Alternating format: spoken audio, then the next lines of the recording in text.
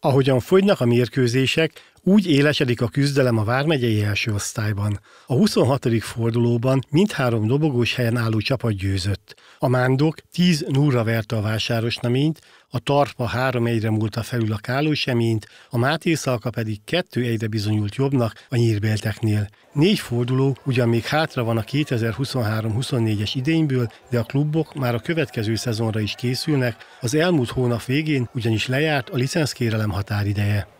Érdekes volt ugye a licenszkérelem, hiszen a jelenlegi megyei osztályú egyesületek közül mindenki beadta az amatőr licenszet, sőt, ugye volt négy olyan egyesületünk, a Mándok, a Máté Szalka, a Káló Semjén és az Új Fehértó, aki MB3-ra is beadta a licenszét, tehát amennyiben úgy végeznek a mostani szezon végén, akkor ez a négy egyesület közül, aki a legelőbb végez, ő jogosult lesz arra, hogy az MB3-ba játszon egy osztályozót, és a megyei első osztályhoz pedig a megyei első osztályú, jelenleg megyei első osztályú klubok mellett hat megye más másodosztályú klub is beadta a licencet, viszont a Pannonia ZRT csoportból nem volt olyan egyesület, aki beadta, illetve volt egy egyesület, de ugye neki nem tudtuk elfogadni, hiszen rendkívül hiányos volt az amatőr licenszük, tehát egészen biztos, hogy a Pannonia ZRT-ből nem lesz 2024 őszén megyei első osztályú csapat. A másik két csoportból egyaránt az első három-három helyen álló, jelenleg is a dobogón álló csapatok egyaránt beadták a licenszet. A Vármegyei első osztályban ősztől is 16 csapat szerepel majd. Vaka Árpád elmondta, hogy milyen követelményeknek kellett megfelelniük a kluboknak az induláshoz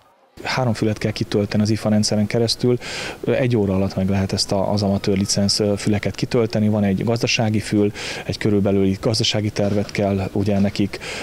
prezentálni, mm, be kell nyújtaniuk azt, amit a, a nap felé beszoktak nyújtani az év elején az előző évi adóbevallást, a különböző edzői végzettségeket a felnőtt edzőnek, illetve az utánpótlás edzőnek legalább a minimum edzői végzettséget fel kell tudni tölteni, illetve értelemszerűen az első oldal az arról szól az egyesületek fő adatai, valamint a kapcsolattartó kitöltése, tehát mondom egy óra alatt meg lehet ezt az egészet tenni. A Vármegyei első osztály 27. fordulójának párosítása következő, Nyíregyháza Spartakusz 2 Csenger, Nyírmegyes Ibrány, Vásárosnamény Kótaj, Nyírbéltek Mándok, Újfehértó Máté Szalka, Kemesse Tarpa, Nagyecsed Nagykáló és Kálósemény Nyírbátor.